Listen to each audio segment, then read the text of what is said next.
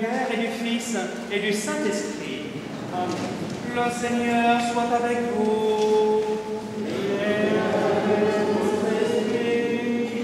Soyez particulièrement les bienvenus dans cette église où nous fêtons ce soir ensemble, dignement, la Saint-Hubert, patron des chasseurs, évêque euh, dans la Belgique actuelle, au 8e siècle. Nous sommes très honorés ce soir de vous recevoir. Oui, nous allons ensemble glorifier le Seigneur